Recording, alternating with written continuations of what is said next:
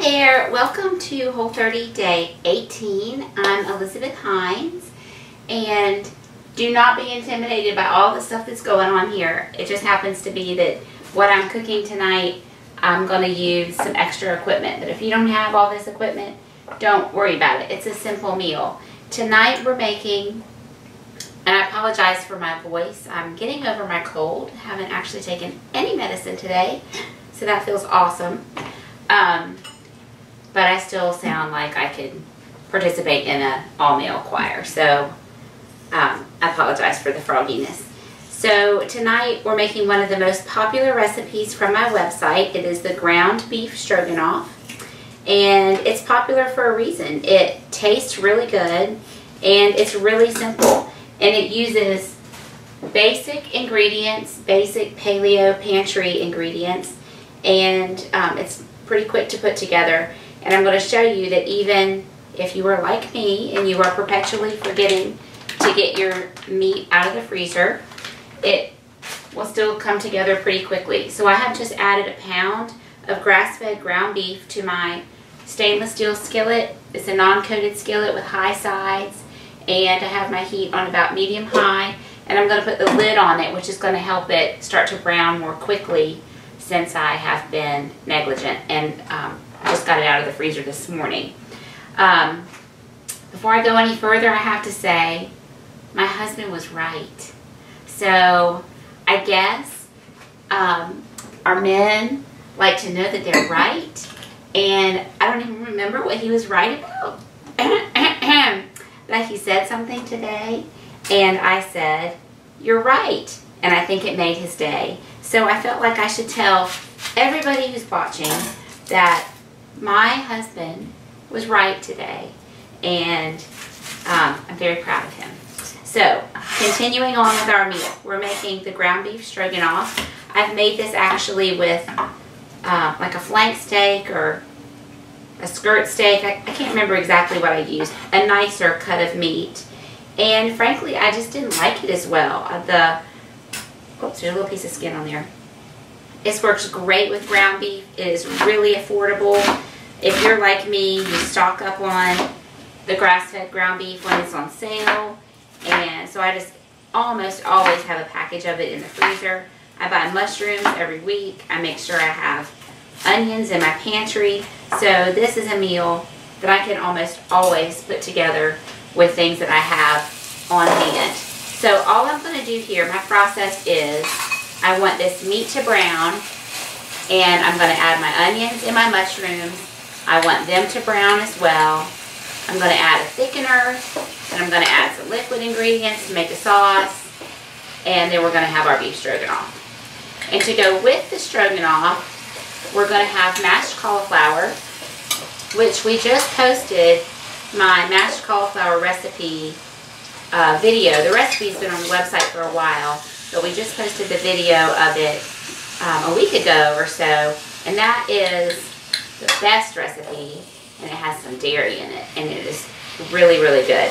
But because we're whole 30ing right now, I'm not going to use the dairy, but I am going to include my special trick for making the cauliflower actually taste like mashed potatoes and this is um, a really unique idea, but we're going to actually add a potato. So we're going to cook a whole head of cauliflower. I'm going to add some salt and pepper just as I go. So this is an eighth of a teaspoon measure right here. So just a little bit of salt and I'll sprinkle in some pepper and I'll just kind of add, add a little bit more every time I add something else to the skillet. Um, so there we go. So we're having the mashed cauliflower tonight and the potato will help it to um, just have a really nice texture. You know, cauliflower is very watery, so it can have a watery texture, which is really what the butter and the cream cheese bring to the table when I make it my dairy way, which there's not a lot of dairy. It's like a tablespoon of tablespoon or two of butter, a tablespoon or two of cream cheese. Um, but they're adding a creaminess, a silkiness, a richness. And the potato will actually add some of that same creaminess. And I will add instead of butter. Is allowed on the Whole 30 dirty. I'll wash these. There's a little piece of dirt. This is a really dirty package of mushrooms. Almost always I can find a package of cremini mushrooms on clearance at my local Kroger, which is interesting. Maybe they're not very popular um, here, I don't know, but I buy them every week and they're almost always on sale. So, and these were these were great. They were just dirty. They weren't wilty or anything. Um, and the other thing we're going to have is green beans. And I had a real bumper crop of green beans in my garden earlier this summer. So many that we were eating them every day. And we still could not eat all that, um, that I was picking. And so I would clean them and uh, snip the stem ends off and blanch them. So just put them in boiling water for about five minutes and then shock them in some ice water and then freeze them. And so of course, just like I do with my meat, I forgot to get my green beans out ahead of time. I'm such a planner, y'all. I really, really am. I'm gonna, I'm gonna blame this cold, but I even write down, you know, okay, Wednesday's dinner is beef stroganoff and mashed cauliflower and green beans. And so on Monday, I write, get the ground beef and get the green beans out of the freezer. And I just didn't do it this week, so I just forgot. So typically when I'm making something like this, I will add, I'll get my meat all browned and then I'll add my vegetables. But when I made this, I guess one of the first times, I was trying to be fast. I mean, what if I just go ahead and add the mushrooms and the onions? Is it really going to mess anything up? And the answer was no. And it cooked really quickly. Tasted great, no problem. So that's just what I do now all the time. So while that's going, I'm going to get my cauliflower going. And you know how to do this because I just did another video. But um, I'm going to show you just because I'm doing it tonight. So I've already washed all my veggies. And, oh, I need to peel that. Sometimes I will not peel uh, my potatoes and I'll just use the skin. Um, but because I'm doing cauliflower, it'll be really, really smooth. And I don't just want this one, like a couple little stray bits of potato peeling. I think that would seem kind of weird. So I'm going to peel it. This is a Yukon Gold. It's kind of a medium-sized one. And sometimes I, I can buy a whole bag of these really inexpensively, but they were kind of expensive today. I don't, I don't understand why potatoes are sometimes expensive, um, but they were. So I just picked the one that I wanted out of the bin. I didn't have a need for any others um, coming up soon. So just peel it. I had washed it already. And I'm going to cut it roughly into chunks. It's a little denser. I feel like it will take a little bit longer to cook than my cauliflower. So, um, so I'll cut it in a little bit smaller pieces. Now this cauliflower, I have washed it, but you see it has a it has a bad spot right there. I just bought it a few days ago. I'm going to go ahead and cut through the core like I typically would do. And start breaking off the florets. But I'm just going to be careful as I get to that bad spot and make sure I get all of that out because it, it seems like it's kind of deep in there. So now to address that, I'll break it down even further. So there it is right there. Oh, is that one little piece? How funny. Now it's all fine. That's a little bit big piece of stem. So I'll cut that off. But you know, the stem is fine to eat as well. And it's a different type of fiber. If you read my series on insulin resistance, in one of those um, one of those articles I talked about you know what my doctor recommended that I do. I had some blood work done and it it came back showing I was one point away from what they would consider insulin resistant. Now this was when I had my blood work done right after the holidays. You know, we were eating paleo treats, but paleo treats every single day. And my body is apparently very carb sensitive and didn't handle that very well. So anyway, I was on this, um, on the brink of insulin resistance. And so he was talking to me about what to do about that. And one of the things he had me do was eat 25 types of vegetables, I think every three or four days. It wasn't every day and it wasn't every week. It was like every three or four days you should try to get three or four types, sorry, 25 types of vegetable or fiber. And he said, so for example, like cauliflower or broccoli, the floret is one type and the stem is actually a different type. So include some of the stems. Don't just cut the flowery part off. Whether you're steaming it, roasting it, whatever you're doing um, with these cruciferous vegetables, the floret and the stem are both important. So I'm simply going to cover this with water and then get it on my stove to boil. Does anybody else still have these little hot pads that you weave yourself?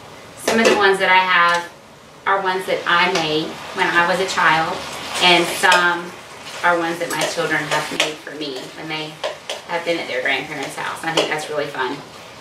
And they work really well. They're a nice small size and I like that. So having the lid on has kept the steam in and has um, helped my meat to defrost so I can just about break through all of it. So at this point I'm going to leave my lid off because I don't want all that water in there. If there is a lot of liquid, it's not going to brown. And what I'm really going for is browning. And actually, I was able to get a really good picture of this to show you on the blog um, on the recipe. It's hard to get an actual in-process, real-life picture of the food cooking because of the steam. It's constantly steaming up the lens, and I'm sure there's some photography trick for that. Um, but I am not making millions with my blog or my videos and so we cannot afford to buy some of this fancy equipment so we're just making do with regular old stuff like um, like everybody else has so anywho when I try to take a picture with my regular old camera it steams up on me and so I sometimes have a hard time getting a good um, in-process picture but the one with this recipe actually shows you really well what we're going for which is this great browning. And so there's a lot of liquid in there right now. And so I'm leaving the lid off and I want some of that to evaporate out. okay, so I'm going to wait to do my green beans because they will take three minutes in the Instant Pot. All I'm going to do is put in a piece of bacon and um, let that crisp up a little bit on the saute function. And then I'll add a little bit of water, put my green beans in, so it really won't take very long. So I'm going to wait until I'm at the simmering point on my stroganoff and when I have my mashed potato, cauliflower in the oven. Um, if you watch that video or read the recipe, you'll see the way I really like to do it is I boil the vegetables, I mash them in my food processor, and then I pour them in a baking dish and bake them um, in the oven. And I just think it adds a nice texture. So at this point, I'm going to get my sour cream ready for my um, stroganoff. You know, if I'm read my ingredients uh, or my instructions see what I'm supposed to add the garlic because I do have a couple cloves of garlic that go in here. I should probably do it now. So the recipe calls for one clove, but these are teeny little cloves, so I have two. So I'm just going to mince these up as finely as I can with my knife and put them in. Because I have all that liquid in there, they're not going to brown. You know, you don't want your garlic to burn, so you need to be careful when you add it. Sometimes you need to add it at the end. I heard an Italian chef one time say that you should always add garlic at the end of your cooking because it will um, destroy the flavor essentially if you cook it. Um, so, I, but I think that's just a matter of taste. I think garlic can be really pungent and overpowering. So to add it early on, as long as you're careful that it's not going to burn, because burnt garlic is not a nice flavor, then it's okay to add it earlier on in your dish and it will um, give it time to mellow. Try not to touch it too much because then, you know, you have garlic smell on your fingers. And I know the trick of running your hands on the, like a stainless steel sink or whatever, and I do that, but even still, sometimes it takes a long time to get the garlic smell off. Okay, so that's just going. I don't want to turn it up too, too high because then I'll really start smoking and I don't want my smoke alarm to go off again. So that's going to work. So traditional beef stroganoff has sour cream that you add at the very end that kind of finishes the dish and it adds a nice tanginess. But with the paleo diet, we're not consuming dairy and so we have to come up with an alternative to that. And a great alternative that, that works really well and tastes great is taking some coconut cream and mixing in some lemon juice. And when I say coconut cream, I mean I take my can of whole fat, full fat coconut milk and I simply scrape off the cream that has risen to the top. Now if you buy light coconut milk, it will not have this. So make sure you pay attention and buy the full fat. I like this Native Forest brand. This is their original and it has some guar gum in it. Um, they have one called Sim Simple or Simply and it does not have guar gum but it also tastes a little bit different. It doesn't seem to me like it ever has as much cream and the texture is a little bit different. So um, my doctor said that Xanthan gum is not good. Carrageenan is not good. We should try to avoid those. But a little guar gum is not the end of the world. So I'm going to go with that and I'm going to use the, the coconut milk that I like the best. And then I'm going to use the juice from half of this lemon. Unless it's not very juicy, in which case I will use the whole thing. So we'll just squeeze it in there. I don't really like the taste of coconut milk in a lot of things. In some dishes, the flavor comes out very strong. But in this one, there's enough flavor in the rest of the dish that the coconut, I don't even notice that it's coconut. Um, I did squeeze a couple seeds in there, so let me pick those out. And then I just mix this together. So kind of smash it. And you know what? It doesn't even really matter if you mix it together because it's just going to melt down into your dish and it'll get mixed in in there. But somehow it makes me feel better to go ahead and mix it up a little bit. And you see, it's really, this is, this is thick. This is solid. You can buy something in a can or sometimes it comes in a little box called coconut concentrate or sometimes coconut cream concentrate. And that is different, different than this. There's also something called coconut manna, which is the whole coconut flesh that has been basically really pureed and cooked down. And that has uh, more of a sweetness to it. And for example, I use it in my um, in my donut recipe. If you subscribe to my newsletter, I'll send you a paleo donut recipe. And the maple glaze is maple syrup and some of that coconut manna melted down together. And that is really good. So when I say coconut cream, I am meaning the cream that has risen to the top of a can of full-fat coconut milk. So I've got my eye on my cauliflower over there. I just want it to come to a boil and then I will put the lid on and reduce the heat, but it hasn't boiled yet. So I'm going to get started on my green beans. And I'm going to add I have forgotten this package of bacon. How could I forget bacon, right? In the back of my refrigerator. And so I wanted to make sure it was still good. You can certainly do these green beans in your on your stove. But I've got my Instant Pot right here, so I'm just going to use that. I'm going to, because I have this out, I'm going to just go ahead and cook this bacon. And then we'll have it for breakfast tomorrow. And it is fine now. It has not gone bad, but it does not have a lot of life left. So I'm just going to go ahead and cook it. Because my oven is going to be on for my mashed cauliflower anyway. So that way I'm just heating up the kitchen at one time. I feel like no matter how simple I try to make things, my kitchen always becomes a three-ring circus. You should see it on Thanksgiving. Wouldn't that be interesting to do a video of me fixing our Thanksgiving dinner. And I'll tell you what, I'm very planned and organized, and it works really well. And I do most of my Thanksgiving cooking the day before so I can just relax and enjoy and watch the parade with my kids. And everything is perfect. It really works out so well.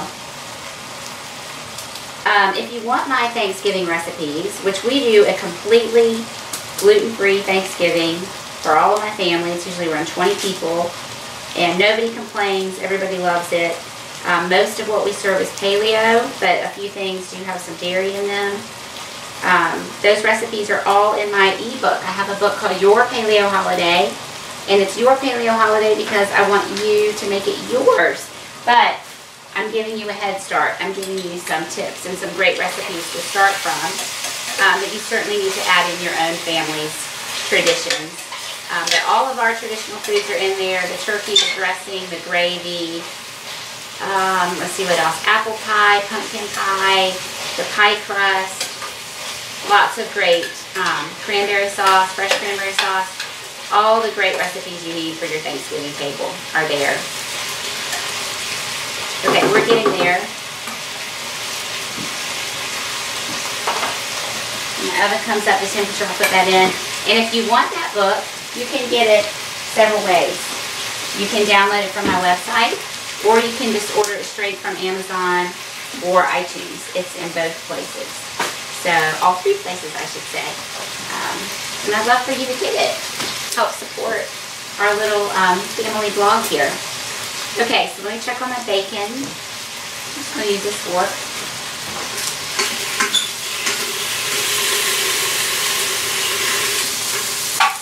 I just wanted to add the flavor in there. So my recipe for uh, the stroganoff calls for one cup of chicken or beef broth. And I had, um, it was really a little bit less than a cup left in my container that thawed out the other day. But it was so thick and good gelatin in there that I added a little bit of water and kind of rinsed it around. So I ended up with a little bit over a cup. I've got a cup and a quarter. But my husband is late getting home. This might thicken up a little too much for me. So I have this carton of beef broth that was in the fridge. So I might end up needing to add just a little bit of that. So I have it ready just in case I need it. My liquid is working its way out of here. So we're getting close to um, the browning stage.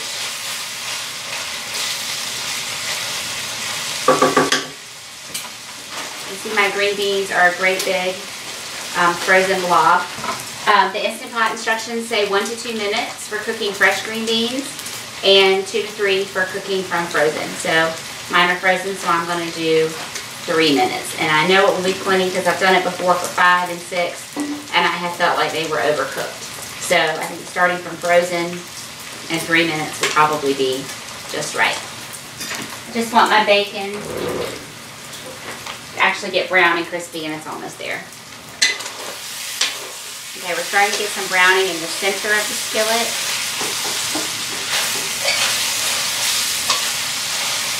I'm going to taste it for seasoning at this point.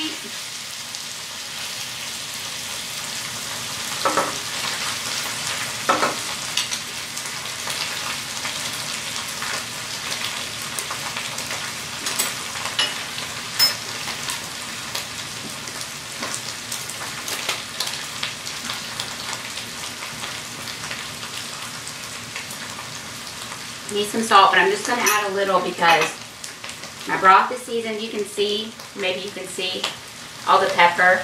When you make broth and then you freeze it, the pepper will tend to settle at the bottom.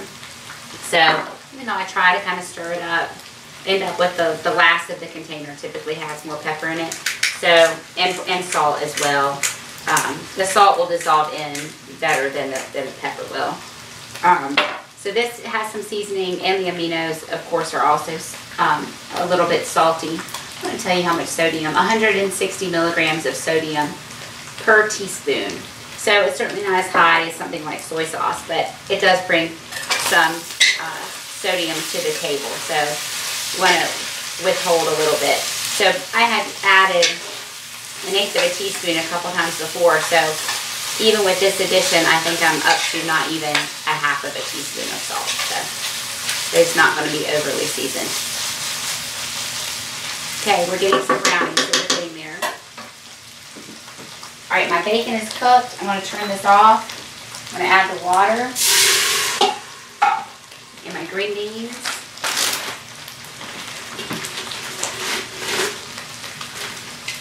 Just filled my pot up about halfway.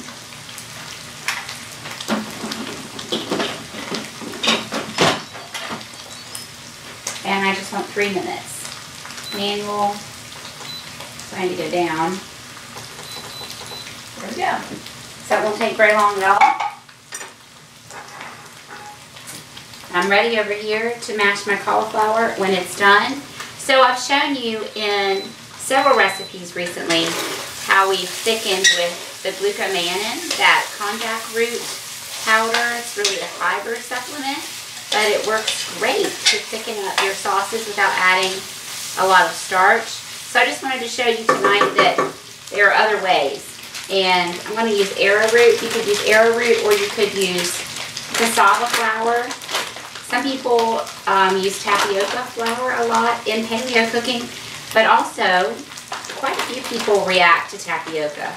So even though, gosh, I haven't looked at this in a long time, but I think this is right. Tapioca comes from the cassava plant as well.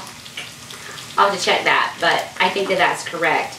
But it, it's a different part of the plant or there's something that's different in the processing. I can't remember, but I can handle cassava with no problem. But too much tapioca will upset my stomach.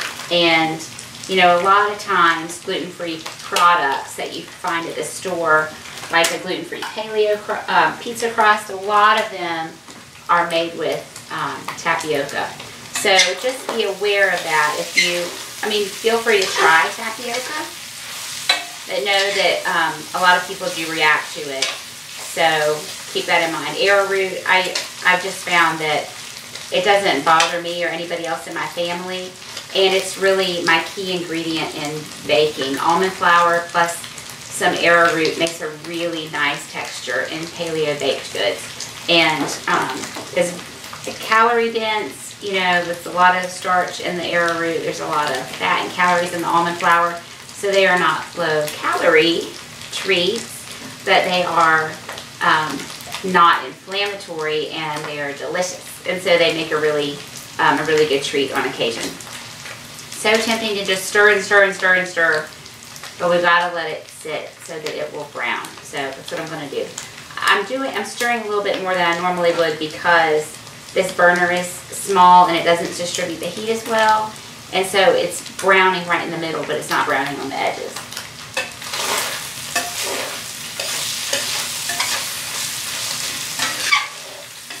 And you notice I did not add any fat oven. I did not add any fat when I started with my ground beef. Grass-fed ground beef is um, almost always lower in fat. It's leaner than conventionally raised beef. And so typically I would need to add a little fat, but um, just my experience with this particular brand, I knew that it would, as I brown it, it would, uh, enough oil would come out that it would be the right amount to make my sauce, to get it thickened the way I want it. Because basically we're making a roux. We have some fat, we have a starch, and then we're going to add some liquid, and we're making like a cream sauce without the cream. Does that make sense? Um, so I knew that I would get enough fat, even though it's pretty lean, um, that I didn't need to add any more. And it's it's been just perfectly fine. All right, I'm going to get my bacon in the oven. You know, something I've realized in doing this whole 30, which I know is one of the benefits of it, is um, it's made me realize the times in the day when I would snack or would want to snack or be tempted to snack. And this time of day when I'm cooking dinner and it's like 30 minutes from dinner or less and I'm hungry, that I would go and get a piece of chocolate or eat a few nuts or a couple slices of pepperoni something like that. If I'm hungry and I eat an apple, it just makes me hungrier, so I wouldn't tend to go for a fruit or a vegetable, which would of course be a wiser choice. But on the whole 30, I'm conscious of that, and I can't go have the piece of chocolate. I don't really want to eat an apple, because on an empty stomach, I know that's not going to be satisfying at all. I know that dinner is coming. I'm not going to starve in 30 minutes Um, so it's just made, given me an awareness of some bad habits that have needed breaking. And I'm not by any means saying that eating a piece of chocolate a day is a bad thing. I don't think that's a bad thing at all, but it's not a habit that I want to get into either. Okay, so I hope my video up above is working. You see I've got a lot of good browning on the bottom of my skillet. Got some browning there. So I'm going to add my arrowroot. And I'm going to stir this around. Just get it totally coating all the contents of my skillet. And we'll let this cook for a couple minutes.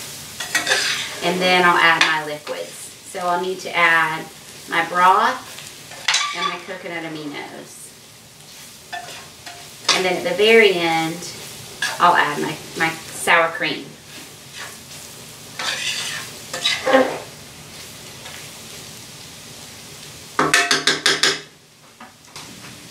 I know that a lot of people have a hard time with coffee on the Whole 30 because they typically put a lot of cream or milk in their coffee and I have gotten in that bad habit as well. I didn't use a lot, but just a splash of cream and a couple drops of liquid stevia and that was just the way I wanted my coffee. And I felt like it wasn't hurting me. I felt fine when I drank that, um, but it's possible that it was causing some, some inflammation in my body, that cream. Um, so I'm, I'm okay to leave it out for 30 days and I can just drink it black. I know there are all sorts of different um, nut, nut milks and coconut milk and different things you can add to your coffee, but frankly I just don't like that taste. Um, but it's, I'm, it's brown, it's cooked for a couple minutes. I'm going to add my broth. This will deglaze my pan, but I'll need to, I'll need to work it. Um, but I was wanting a little flavor in my coffee. And I'm not a Starbucks fan. I, I don't go and I don't get the flavored um, pumpkin spice latte. That's not my thing. But I have heard raves and raves about Trader Joe's pumpkin spice coffee. And it's just the pumpkin spice flavored coffee. It's not like a creamy thing. And so we went um, on Sunday. We After church, we go to Aldi, which is our discount grocery store that I love and it's just right by the church so we just always go after church. And there's Trader Joe's right down the road too so I needed a couple things that they didn't have at Aldi. And when I was in there um, you know Trader Joe's is a crazy store. It, it drives me crazy. I can't find anything I want. Um, so I was having to walk all over the store to get the two things that I really wanted. And I spotted the pumpkin spice coffee and it was just the K-cups it wasn't the like, like the canister of ground coffee and it's like, oh, that would be great because it would give me some flavor and there's no sugar in it or anything. It's just spices, cinnamon and nutmeg and I can't remember what else. And so I looked and looked and I couldn't find any of the canisters. And so I just kind of stood there and debated, well, do I get the K-Cups? Because I don't have one of those kind of coffee makers. But I really wanted it. So I bought the K-Cups. And so um, in the morning, I just have my regular, I have a blend of coffee that I really, really like. It's a light roast and I enjoy it black. Or I can enjoy it black. I like it with cream and some stevia, but I can enjoy it black. Um, but in the afternoon, that's when I kind of want my treat coffee. So I got to put in my coconut aminos, two teaspoons. I'm going to measure. I'm going to be a good girl.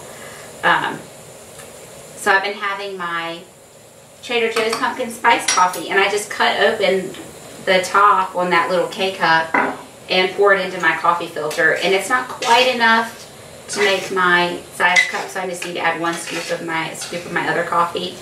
Um, but it's a strong enough flavor that it carries through, and it's just a nice little treat. So that's something to consider. Um, I haven't I haven't read a lot of forums and things regarding Whole 30, but whenever I have read about coffee, it's all been about um, a cream substitute and not, nobody suggested uh, buying a flavored coffee. But of course you'll need to check and make sure that it's just the flavor and not anything, any sugar or dairy products added. Okay, so let me tell you one thing about this coconut milk. It will go bad really fast. So, I don't always do this because I'm just not always that on top of it. But I try to, when I plan a recipe using coconut milk, because I never ever use the whole can. Well, that is not true. There's actually a recipe in my book in the fall section for a pumpkin spice, like a creamer. I'm not, I can't remember exactly what I called it, but it's, um, it's a flavoring to add to your coffee to make your own pumpkin spice latte. And I believe it does use an entire can of coconut milk because I reduce it down with a little maple syrup to make like a sweetened condensed milk, but it's coconut milk, so it's dairy free. But that's the only time I can think of that I ever use a whole can. So I just put it in a Ziploc bag and I stick it in the fridge and I try my best to make a point to use it within a week or it'll start to mold and mildew and that's disgusting. Okay, so hubby has called. He's on his way and this just needs to hold for a little bit till he's closer. I'm going to give it a taste for seasoning.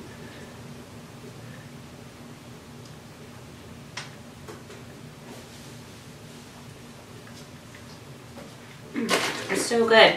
Mm. I love it. It's so comforting. Even though it was 90 degrees today, it was so blasted hot. I think Friday it's finally supposed to cool off. And I am so ready. It is fall. I'm ready for fall. So I added a little bit of my beef broth because it's going to keep simmering and it's going to get too thick. So I wanted to thin it out just a little bit. So I went ahead and added the beef broth so that can cook and the flavors can kind of blend together. And then I'll add my coconut cream. It's a teeny bit salty for my taste right now, but this is not salty at all. It's just the coconut and the lemon. So that will mellow it out and it will be perfect. So if you taste it at this stage, do not be worried if it's just a teeny bit too salty. So I'm going to clean up a little bit and I will see you back in a few minutes. Okay, now I want to stop. Oh! I want to stop my green beans from cooking or they will get overcooked. So I'm going to do the quick release. So people keep leaving me comments to put a towel over this, but I have not found that it works very well. It's very easy to burn yourself. I still think it's better to just carefully knock it. And then maybe you can divert it a little bit like that. But, I mean, steam can burn you very badly. So that is, that is a dangerous thing to play around with. That's a lot of steam. That's a lot of steam. I've shown you this before, but I have the space now, so I will, um, I'll show you my cauliflower. Actually, let me move this guy. This burner's already hot, so I'm just going to borrow this burner for a second. And let that cauliflower cook. Let some of that water cook off. And I showed you this in the in the cauliflower video, so just strain that a little bit. You know what, I just realized I did not add any seasoning to my green beans. They are going to be so, so bland.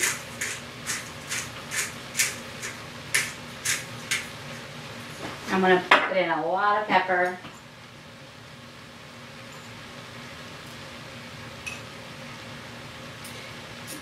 Because fresh out of the garden green beans have no seasoning, obviously. Think those are cooked really well. Pull out a couple and give them a taste when they cool a little bit. Okay. Alright, so I've cooked my water out of there. So I'll put you back on there.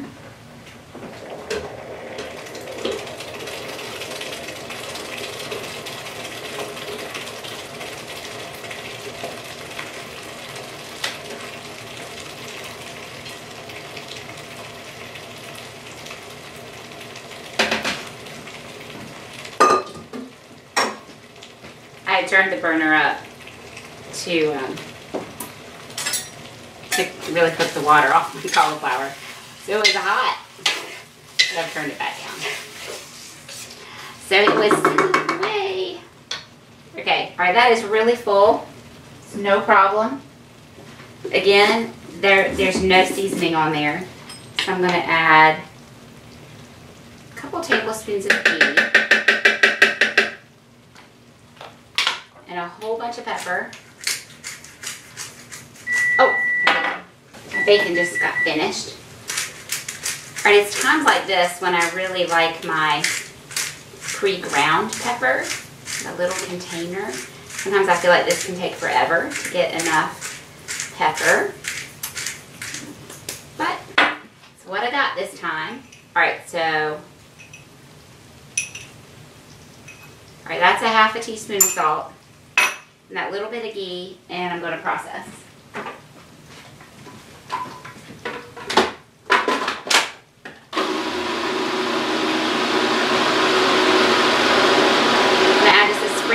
Garlic salt, just a little.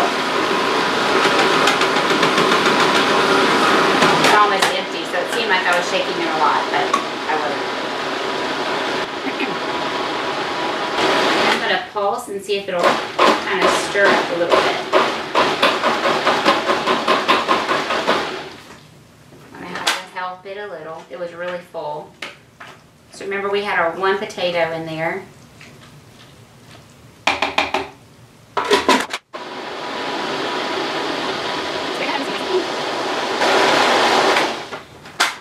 Let me taste this for seasoning.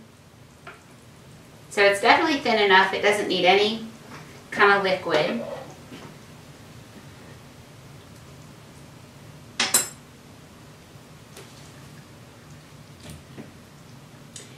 I don't want to add any more ghee because it has a strong flavor that my children do not like.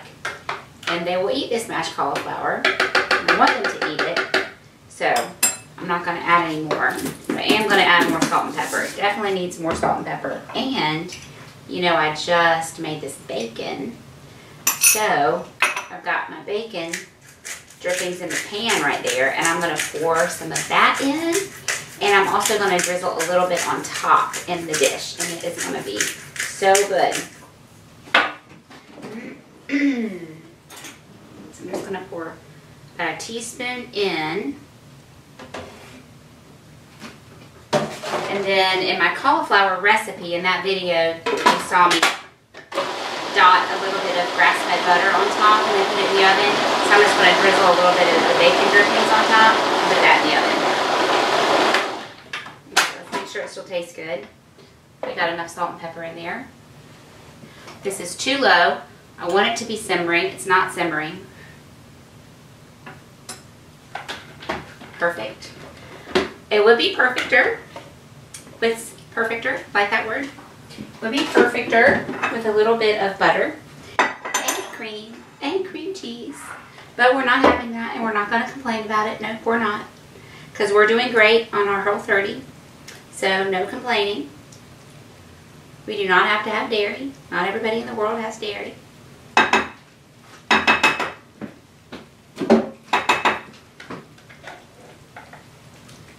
Very creamy.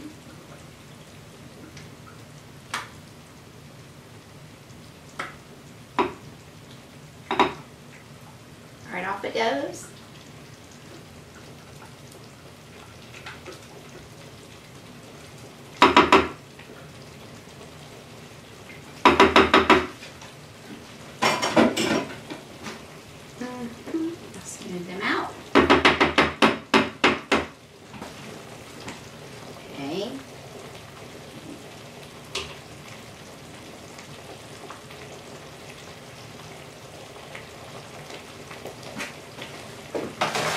How about a little sprinkle of fresh ground pepper on the top?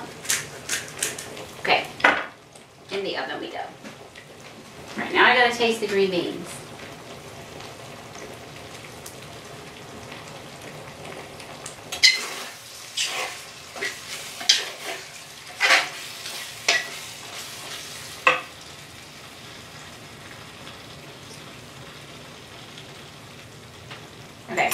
As I dish those up, they will get mixed in. I'm just not going to mess with them now because I don't want to break them apart and mush them up. Okay, we are almost ready to eat, so I'm going to add in my coconut cream, lemon juice combination here. That is my sour cream substitute. We'll just stir that in.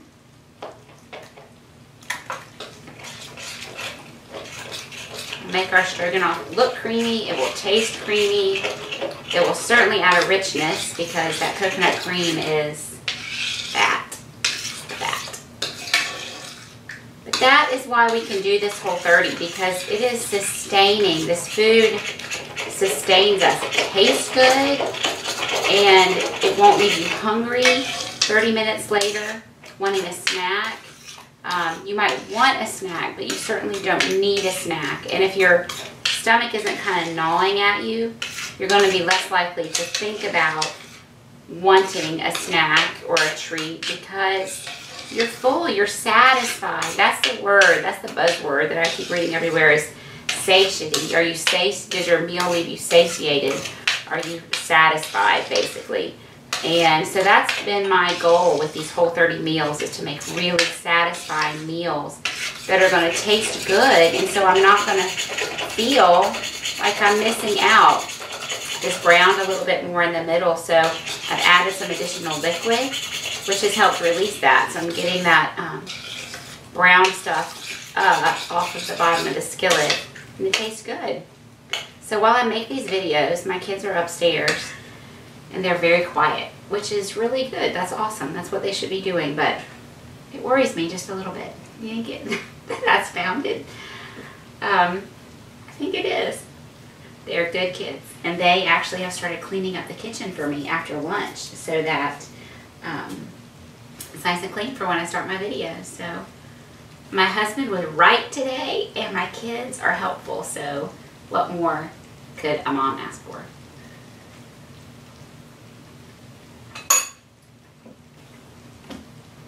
I feel like I say it all the time, but that's really good. Every time I make this, I'm kind of surprised at how yummy it is. That coconut cream, the lemon, it just like, oof, it elevates it. It's so good. This, let's see, the citrus chicken thighs and the jambalaya have been the best. I think the jambalaya was the best meal. We all loved it. It was so, so good. The turkey meatballs last night were also delicious. Um, They've all been good, but um, some, of course, better than others, and this is one of my favorites. So I'll show you the whole thing when um, the cauliflower is finished. Okie dokie. As you can see, I turned my um, Instant Pot back on because my husband, who was right about something today, was later getting home. So my green beans were getting cold but that was fine. I took the lid off because I didn't want them to continue to steam. I didn't want them to continue to cook. But they were getting cold, so I turned it on to saute less. The um, I could adjust my saute function less, normal, and more. So I just adjusted it to less, and it has just been on for a couple minutes. But you can see it's working. There's a lot of steam coming out. So I know my green beans are hot. I'm going to grab my cauliflower cauliflower potatoes. Got a nice little crust on top. Drizzled that bacon drippings on top. And my beef stroganoff. Let me grab these guys out.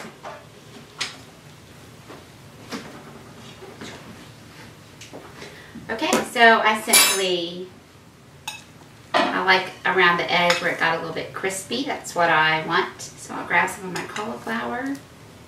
Make a little bed for my stroganoff right down in the center there. And of course we need more than that, so we've got to spill over the edges. And then I use my tongs to fetch out my green beans so I can be gentle with them. And there we have Whole 30 Day 18, uh, beef stroganoff with mashed cauliflower and green beans. And this is a really good one. If you haven't made any of the others, make this one. And I'll look forward to seeing you tomorrow. I have a really special recipe for tomorrow. I think you're going to love it. So best of luck. I hope it's going well. And I'll see you tomorrow.